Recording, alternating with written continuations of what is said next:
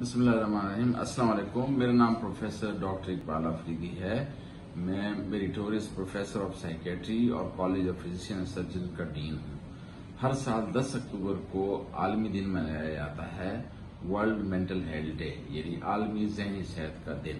اور ہر سال ایک موضوع ہوتا ہے۔ اس سال کا موضوع ہے کہ mental health in an equal world یعنی غیر مساوی دنیا میں ذہنی صحت۔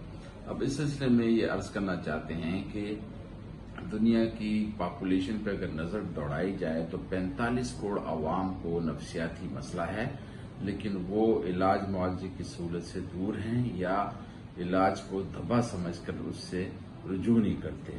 لہذا اس پوری دنیا میں جو ہمارے سات ارب کی آبادی ہے، اس میں ہمیں چاہیے کہ یکساں مواقع فراہم کیے جائیں۔ اور ذہنی صحت ہے کیا؟ ذہنی صحت دراصل ایسی کیفیت کا نام ہے جس میں انسان کو اپنی صلاحیتوں کا اندازہ ہو، روزمرہ کے مسائل سے نبرزما ہو سکتا ہو، مفید اور سمرمند کام کرے اور ایسے کام کرے جس میں دوسروں کو آسانیاں ہوں یعنی اپنی صلاحیتوں کو بروئے کار لاتے ہوئے معاشرے میں ایک فعال کردار ادا کرے۔ آئیے ہم مل کر اس غیر مسائل دنیا میں جہاں پہ امیر اور غریب کا بڑا فرق ہے، اس میں یکساں ذہنی سہولت ذہنی نفسیاتی بیماریوں کی روک تھام